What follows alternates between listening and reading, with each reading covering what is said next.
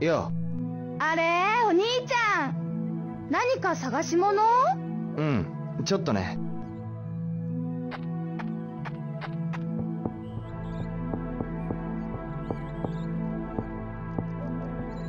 うん？あ、お兄ちめぐみちゃんか。猫がいるのか？に内緒にしてくれる？ああじゃあお兄ちゃんには特別に見せてあげるね。めぐみちゃんの猫かい？違うの。この猫ちゃんはね、一人ぼっちなの。一人ぼっち？うん。この間ね、ハメの時にね、ママ猫が車にひかれちゃったの。めぐみのお姉ちゃんが見てたの。大きい黒い車だったんだって。黒い車？すごく怖かったって言ってたよ。めぐみ、お姉ちゃんとね、ママ猫のお墓作ったの。代わりにめぐみが猫ちゃんのママになってあげるんだ。でも、めぐみのママがね、お家で飼っちゃダメだって言うの。それでここで飼ってるのかい？手伝いしてくれるんだ。こうた兄ちゃんとね、やすお兄ちゃん、かやちゃんも。そうか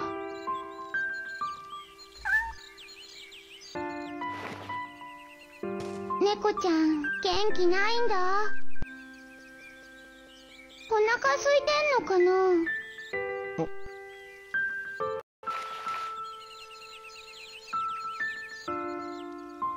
ちょっと待ってなうん。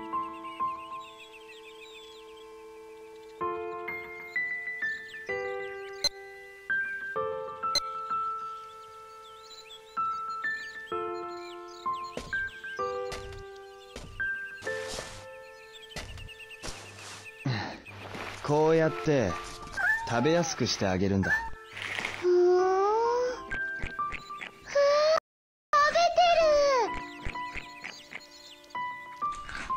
まだ子猫なのに一人ぼっちかるひどいよね。山岸のおじいちゃんもひかれそうになったんだって。山岸さんが？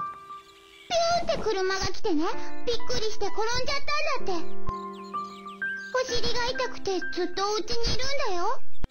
めぐみ、お菓子屋さんへ行くときね、いつもおじいちゃんとこ寄るんだ。そうか近くだからなめぐみちゃんも車には気をつけるんだよはじゃあ今ちょっと急いでるから。はあ、猫ちゃんの名前一緒に考えようよ。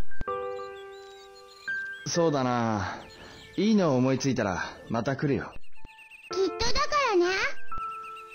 バイバイお兄ちゃん。バイバイ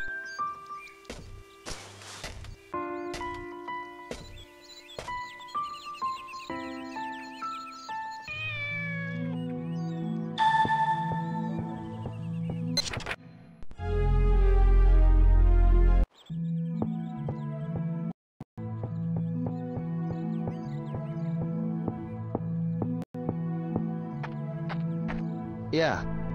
あお兄ちゃんだ。何してんの？うんちょっとね。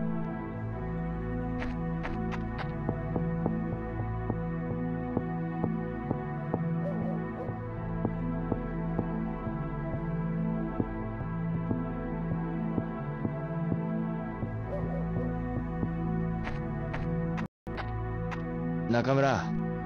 何？あの日のことだけどあの日？ああ、あの事件の日ね。話はのぞみちゃんから聞いたわ。大変だったね。いやあの日黒い服の男を見なかったか？見なかったけどその人どうかしたの？いやちょっとな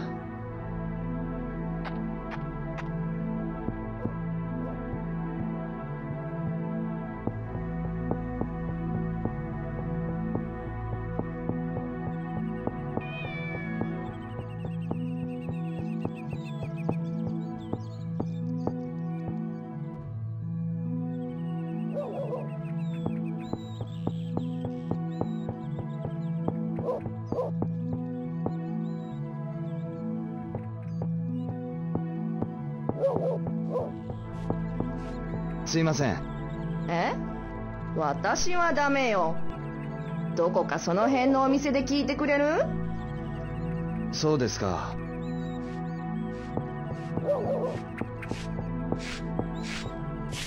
住谷さん。あらりょうちゃん。事件の日黒い服の男を見ませんでしたか？黒い服？猫なら見たけど黒い猫ですか？ええ車にはねられたらしくてそばで子猫が泣いてるのよ。そういえば三島さんとこの子まで一緒になって泣いてたわね。そうですか。他に何か変わったことは？そういえば山岸さんが公園の角で転んで大変だったのよ。急に来た車を避けたとかで痛そうに腰を押さえてきっと猫を跳ねた車よ。よっぽどスピード出してたんでしょうね。そういうことだったのか。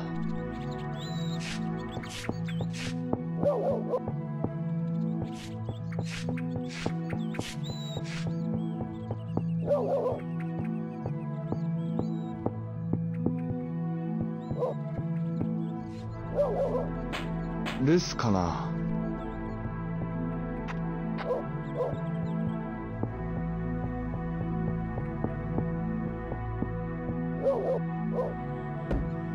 外出中かな？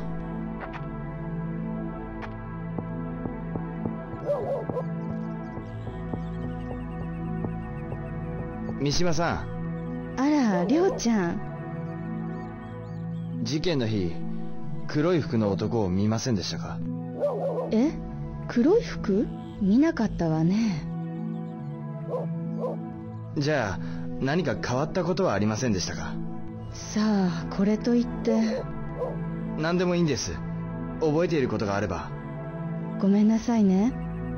あの日は天気が悪かったからずっと家にいたのよ。住谷のおばさんには聞いてみたの？ご近所のこと詳しいわよ。そうですか